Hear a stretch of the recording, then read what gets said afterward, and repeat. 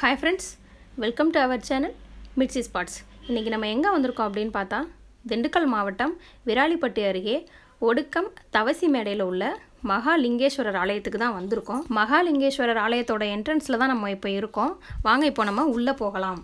இந்த ஆலயத்தோட நடை காலை ஏழு மணி முதல் மாலை ஏழு மணி வரை திறந்திருக்குமாம். ஒடுக்கம் தவசி மேடை அப்படின்ற பெயர் இந்த தலத்திற்கு வர்றதுக்கு என்ன காரணம் அப்படின்னா பரத்வாஜர் மகரிஷி ஒரு தவ மேடையில் மனதை ஒடுக்கி சிவபெருமானை நோக்கி வழிபட்டாராம். அதனால தான் இந்த தலத்திற்கு ஒடுக்கம் தவசி மேடை அப்படின்ற பெயர் வந்ததுன்னு சொல்கிறாங்க இந்த ஆலயத்திலிருந்து பார்க்கும்போது சிறுமலையில் உள்ள வெள்ளிமலை தெரியும்னு சொல்கிறாங்க அது மட்டும் இல்லாமல் இந்த ஆலயத்தில் எல்லா பூஜைகளும் நடந்து முடிஞ்ச பின்னாடி தான் வெள்ளிமலையில் உள்ள சிவன் கோயிலில் பூஜைகள் நடக்கும்னு சொல்கிறாங்க சிவ ஆலயங்களில் இந்த மகாலிங்கேஸ்வரர் ஆலயம் மிகவும் பழமை வாய்ந்தது அப்படின்னு சொல்லப்படுது.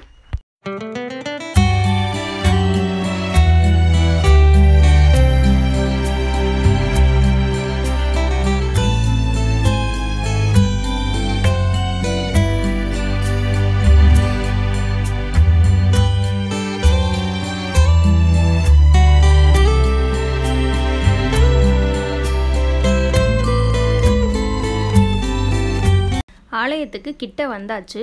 உள்ளே வந்ததும் பார்த்தீங்கன்னா முதல்ல பைரவர் வச்சுருக்காங்க. வாங்க பைரவரை முதல்ல தரிசனம் பண்ணலாம்.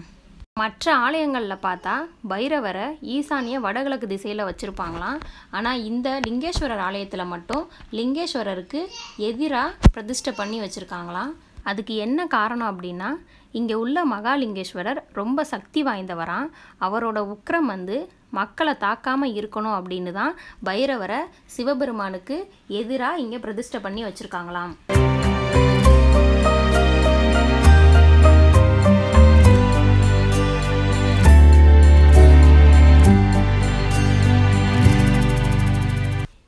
ஆலயத்தில் சிவபெருமானுக்கு வலதுபுறமாக மரகதவள்ளி தாயாரையும் மாணிக்கவள்ளி தாயாரையும் ஒரே சன்னதியில் பிரதிஷ்டை பண்ணி வச்சுருக்காங்க. இந்த மகாலிங்கேஸ்வரர் ஆலயத்தில் மட்டும்தான் ஒரே சன்னதிக்குள்ளே ரெண்டு அம்மனையும் பிரதிஷ்டை பண்ணி வச்சுருக்கோன்னு சொல்கிறாங்க இது இந்த ஆலயத்தோட தனி சிறப்புன்னு சொல்கிறாங்க கிழக்கு நோக்கி அமைந்த இந்த சன்னதியில் தெற்கு திசை பார்த்து தான் மரதவள்ளி தாயாரும் மாணிக்கவள்ளி தாயாரும் மதில் ஓரத்தில் வச்சுருக்காங்க. எட்டி பார்த்து தான் அவங்கள கும்பிட முடிஞ்சது. ஆலயத்துக்கு முன்னால் பார்த்தீங்கன்னா ரெண்டு பீடம் இருக்குது இல்லையா? அதில் ஒரு பீடம் வந்து பரத்வாஜ் மகரிஷியோட தலைபாகம் இன்னொரு பீடம் வந்து பரத்வாஜ் மகரிஷியோட கால் பாகம் இந்த லிங்கேஸ்வரர் ஆலயத்துக்கு வர்ற பக்தர்களோட பாதம் பரத்வாஜ் மகரிஷி மேலே படணும் அப்படின்றதுக்காக தான் அவர் இந்த நிலையில் இங்கே இருக்காருன்னு சொல்கிறாங்க இந்த ஆலயத்தில் சித்தர்கள் பீடமும் இருக்குது ஆலயத்தை சுற்றி பார்க்கும்போது காட்டுப்பகுதியாக தான் தெரியுது. அது மட்டும் இல்லாமல் இந்த ஆலயம் ரொம்ப சின்ன ஆலயமாக தான் இருக்குது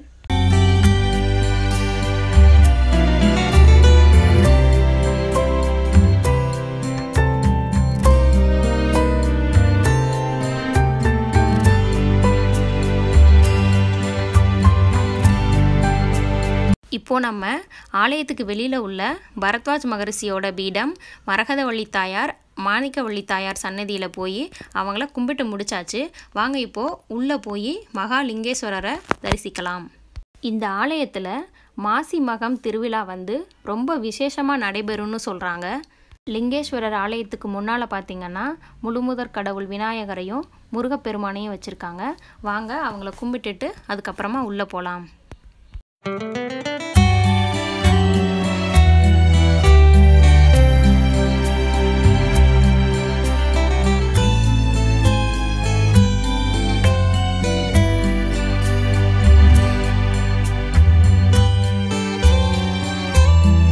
ஆலயத்துக்கு உள்ளே வந்தாச்சு. நம்ம இப்போ பார்த்துட்ருக்க இந்த ஆலயம் தான் மகாலிங்கேஸ்வரர் ஆலயம்.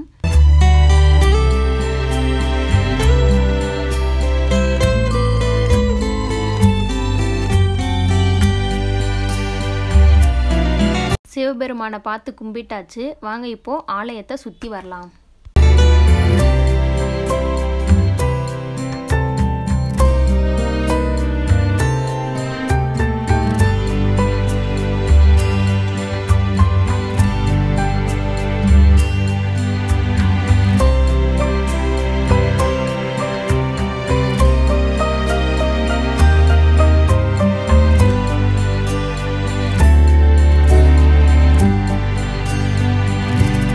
மகாலிங்கேஸ்வரர் ஆலயத்தோட ஒரு ஸ்பெஷல் என்ன அப்படின்னா சிவராத்திரியை ஒட்டி முப்பது நாளும் சூரிய ஒளியானது சிவபெருமான் மீது படுமா?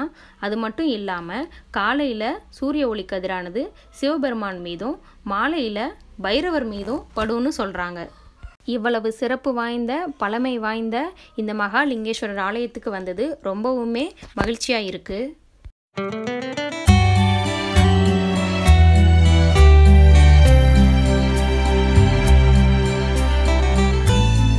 ஆலயத்துக்கு பக்கத்தில் ஒரு புற்று கோயில் இருக்குது அதை தான் நம்ம இப்போது பார்த்துட்ருக்கோம்.